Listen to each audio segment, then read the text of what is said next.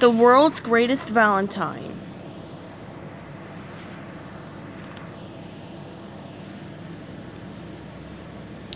Chapter 8 Patrick sat, rubbed his pink chin thoughtfully, and turned to look at SpongeBob.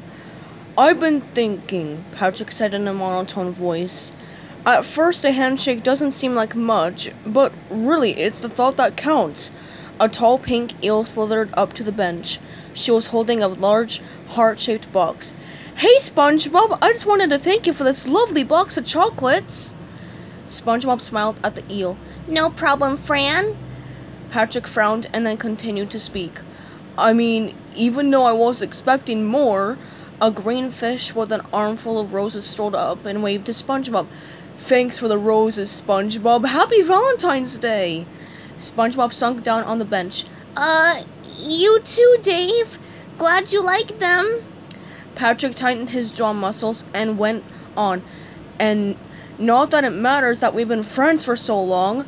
A blue fish in a yellow dress rode up on a bicycle and stopped next to the bench. She leaned over and said, Hey, SpongeBob, thanks for the bike.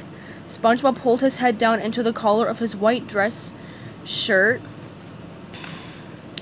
like a turtle disappearing into his shell. The bluefish elbowed Patrick and said, Can you believe this guy? I just met him this morning. As she pedaled away, Patrick continued, So, as I was saying, Excuse me, a new voice said, Do you guys have the time?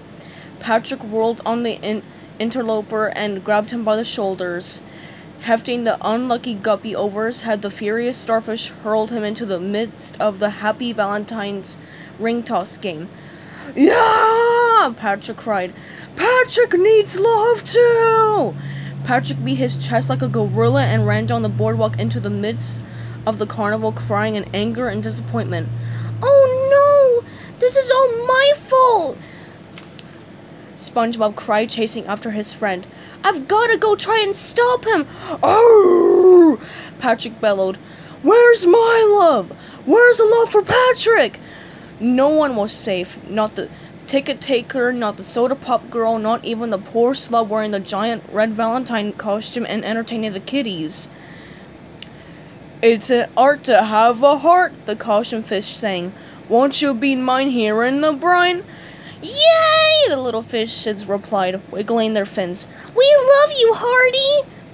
Arr! I defy you, Heart Man! Patrick screamed, bounding up and scattering the children like scaly bowling pins.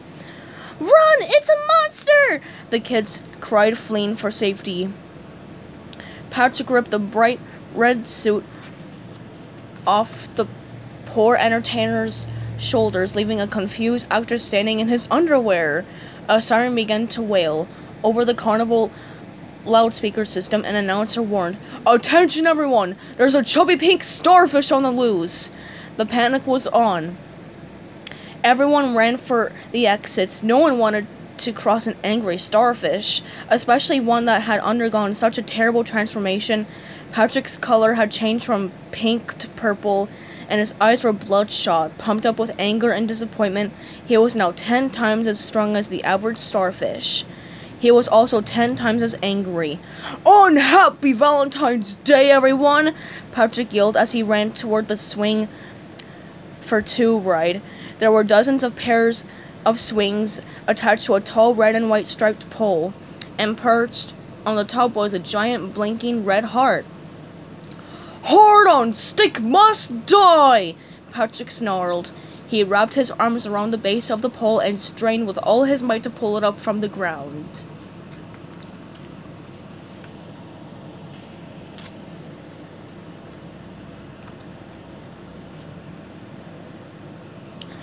Stay tuned for chapter 9 coming up soon.